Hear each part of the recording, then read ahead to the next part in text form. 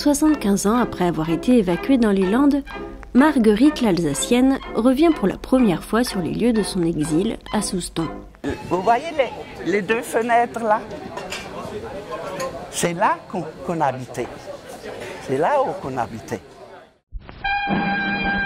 1er septembre 1939. La Seconde Guerre mondiale éclate. Les populations situées entre la ligne Maginot et la frontière allemande reçoivent l'ordre d'évacuer. Alors que les hommes partent au front, 600 000 femmes, enfants et personnes âgées voyagent vers une destination tenue secrète, avec seulement 30 kilos de bagages par personne, et sans savoir quand ils pourront regagner leur maison. Il faut que les gens comprennent qu'est-ce qu'il y a eu et à quoi, à quoi ça rimait partir dans l'inconnu. Il faut quand même se mettre à la place des gens qui ont dû partir. Je me voyais, vous voyez, ma maman avec ma petite soeur. C'est vrai, quand je réfléchis, cette période, si vous racontez à quelqu'un qui n'a aucune idée qu'est-ce que ça peut être, être évacué, 1000 kilomètres, hein? aujourd'hui je sais ce que c'est les Landes, hein? mais à l'époque. Après trois jours de voyage dans des wagons à bestiaux, ils arrivent dans le sud-ouest de la France. On les a placés donc euh, en Aquitaine, donc dans le sud-ouest. C'est parce que d'abord il y avait beaucoup de logements vacants. Hein. il y avait un exode rural qui, avait commencé déjà bien avant. Puis deuxièmement, c'était les possibilités qu'ils avaient d'entretenir euh, des jardins. Depuis 1933, l'État prépare cette évacuation. À plusieurs reprises, il a demandé au maire de recenser les logements vides. Il nous avait averti déjà, il avait demandé, la mairie avait demandé euh, qui c'est qui pouvait prendre les, les réfugiés chez eux. Mais les choses sont allées très vite. Dès le 6 septembre, le premier train arrive à Air-sur-la-Dour avec 1500 déplacés. En une semaine, ce sont 17 000 Alsaciens qui arrivent dans les différentes gares du département. Au total, ils seront près de 26 000, répartis dans 184 communes. Dans les villages qui étaient préparés, euh, ça n'a pas posé euh, trop de problèmes. Mais il faut savoir que tout le monde n'était pas également prêt. Et dans d'autres villages où on avait un petit peu euh, attendu, hein, disons, temporisé, cela a évidemment posé des problèmes considérables. Il a fallu donc les loger, des logements de fortune, c'est-à-dire dans des églises, quelquefois, des garages, des écoles. Les écoles n'étaient pas encore, la rentrée n'était pas faite. Mais ce n'était évidemment que provisoire et souvent dans des logements qui euh, n'étaient quand même pas très adaptés. Voilà. Au début, ben, on arrivé à l'école avec, tous les, tous les et puis il y a des, des, familles qui venaient nous chercher. Il y a deux jeunes filles qui sont venues, ils voulaient la maman et un petit garçon. Nous, on n'avait pas de quoi, si vous voulez, les loger, mais ils habitaient à côté de chez nous. Mais on les, a on les a aidés matériellement parce que ma grand-mère avait un grand jardin et on leur a donné, on leur a donné des légumes, des choses comme ça. On, leur a donné un peu de vaisselle, vous savez, pour un, un minimum. Et, pour eux, j'ai appris, après quand je les ai revus, ma mère était bonne à, les entendre.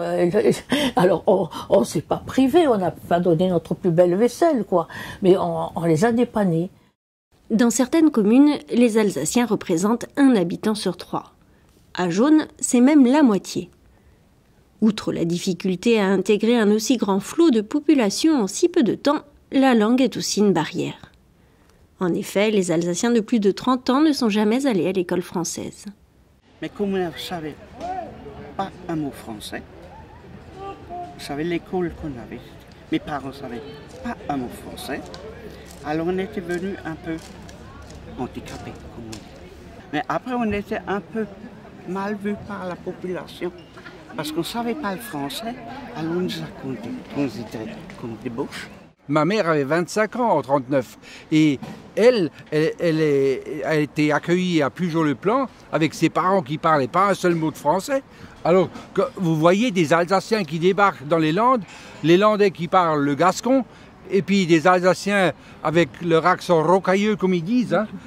Ça, a dû poser des problèmes. Ils se sont moqués d'eux. Ils les ont testés pour savoir si ce pas des voleurs. Ils ont posé de l'argent par-ci, par-là pour voir s'ils allaient le prendre. Quand euh, on euh, réquisitionnait votre logement, euh, tout le monde n'était pas tellement d'accord. Ben oui, ça se comprend. C'est sûrement pas facile pour les gens du pays non plus, parce qu'on nous a accueillis, ne savait pas pour combien de temps. Hein on était là, ben, on a quand même perturbé leur, leur façon de vivre. Hein. Rapidement, la vie s'organise. 200 baraquements en bois sont construits pour accueillir 8000 personnes afin de mieux supporter les conditions de cet hiver particulièrement froid. Les adultes trouvent parfois du travail dans les champs ou à l'usine. Pour accueillir les quelques 5000 enfants en âge d'être scolarisés, des écoles supplémentaires sont ouvertes dans certains villages. Pour les enfants, qui bien souvent ne se rendent pas compte de tout, la situation est plus facile. Des amitiés fortes se nouent, comme entre Roger Lambert et Pierre Soubès, respectivement 9 et 10 ans à l'époque. Sa mère avait un salon de coiffure et ma mère était coiffeuse et alors elle allait travailler chez sa mère. Et c'est comme ça qu'on s'est connus, il était fils unique, j'étais fils unique. Et après, après, après l'école, on s'est rencontrés les deux, on s'est rendu coiffure, un petit demi-frère, parce qu'on est euh, fils unique tous les deux. On a des demi-frères sans en avoir, autrement on n'a pas, on pas de frère. Étant fils unique, c'est pour les parents c'est différent. Hein. Pour ma mère c'était c'est plus dur, mais pour nous c'était c'était bien.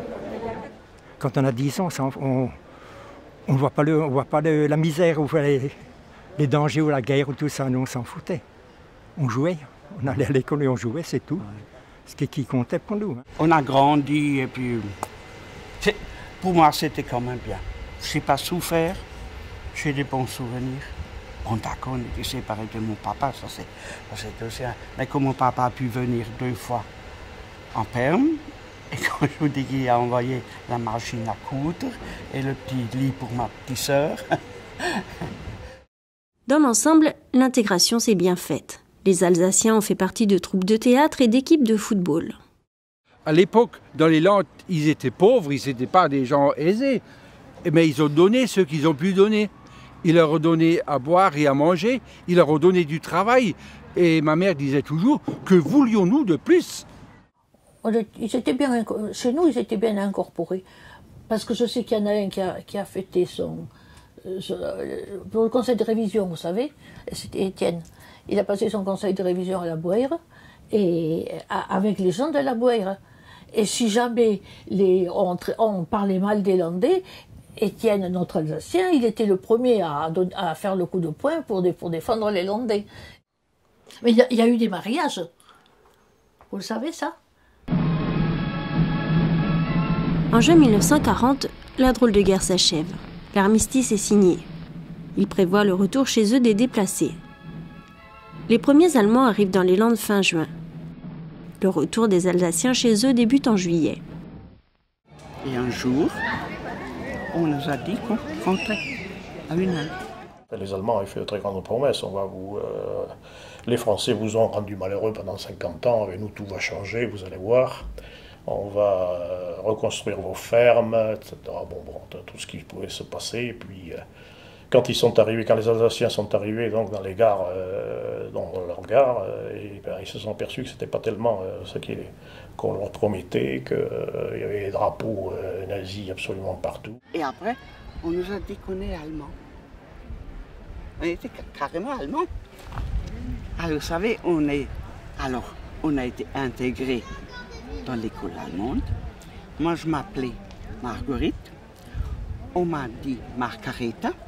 Quand ils ont vu leur maison à moitié saccagée et détruite, euh, et quand ils ont vu tout ce qui s'était passé avec euh, l'occupant allemand euh, dans le village, dans les environs, eh ben, ça ne devait pas être facile non plus. C'était déjà pas facile de venir dans les Landes, mais c'était encore moins facile d'accepter la présence de, l'ennemi de l'époque au village. La tragédie, ça a été l'incorporation des jeunes Alsaciens, dans la Wehrmacht en particulier. Après la guerre, si quelques familles continuent à correspondre, il y a peu de contacts entre Alsaciens et Landais. On a repris après une relation vraiment avec eux euh, quelques années après parce qu'ils ont eu, ils avaient besoin, c'était, vital pour eux de reconstruire, de réparer leur maison et tout. Et puis après, ils ont eu la nostalgie de, l'année qu'ils ont passé à la Boère et pour, pour revoir les gens. Et, ça a été pour tous pareil, quoi. Et, c'est pour ça qu'on a créé une, association. Le premier jumelage se fait à la fin des années 70. Le plus beau souvenir que nous, que nous avons, c'est la première fois qu'il y a eu un jumelage. Sur la grande place du Huning, hein, les gens dans les champs et partout où il faisait bonjour, on avait les motards qui étaient devant. Hein, en arrivant sur la place, Ils étaient toujours, ah, ils sont là, on s'était pas vu depuis, euh, depuis lors, quoi. On chialait tout, je me rappelle. On a tous un souvenir vraiment de ça, c'était formidable. C'était formidable. Tout ça, je l'ai entendu. Je l'ai entendu par ma mère. J'ai eu la, la chance, l'opportunité de la ramener euh, en 1978 à Pujol-le-Plan dans la famille où elle a été accueillie. Et, et je vous garantis que j'ai entendu des choses que jamais je n'oublierai. Parce que au retour, elle disait, c'est dans les Landes que j'ai passé la plus belle année de ma vie. Alors ça, franchement, de dire ça, ben, ça veut tout dire. Aujourd'hui, plus de 35 communes landaises sont jumelées avec des Alsaciennes. Les liens sont forts et ont été prouvés notamment après la tempête Klaus quand les Haut-Rhinois se sont cotisés pour aider les Landais. En Alsace, comme dans les Landes, il y a presque dans chaque commune euh, une place, une rue, euh, etc., qui a été baptisée du nom de village d'accueil ou du village qui a été accueilli. En août 2014, pour célébrer le 75e anniversaire de l'évacuation, 1500 Haut-Rhinois et Landais des associations de jumelage se sont retrouvés à Mont-de-Marsan. Les Landais euh, se souviennent de ça parce que ça ne s'est jamais re- reproduit et il n'y a nulle part en France deux associations comme les nôtres qui, euh, qui commémorent comme vous avez, vous avez vu là. euh, no- no- notre, notre sève c'est l'amitié donc euh, euh, on fonctionne comme ça et, et ça dure depuis 75 ans et encore 25 ans au moins Oui. pour nous deux. Le passé est le passé, euh, mais il faut savoir euh, comprendre ce qui s'est passé justement il y a 75 ans, pour ne surtout plus retomber dans la terreur, dans ce que nos parents, nos grands-parents, nos arrière-grands-parents ont vécu, parce que franchement, les Allemands, les Français, les Européens, et j'allais dire euh, tous les habitants de la planète valent infiniment mieux que ça. Je suis très fier que Jean-Marc et moi peuvent prouver, je pense, aux jeunes qu'il y a une chance pour les hommes euh, qui ont de bonne volonté, qu'on peut travailler très bien ensemble et qu'en Europe, euh, des différences, c'est une Europe de richesse en même temps. Vous savez, ça c'est un, c'est une aventure qu'on peut pas. Il y a des jeunes qui pourraient jamais comprendre une chose pareille. Et je leur souhaite jamais avoir cette période. Il n'y a pas plus beau symbole que ça de nous voir ici, les Haut-Rhinois, les Landais et un représentant du peuple allemand pour dire plus jamais ça, merci.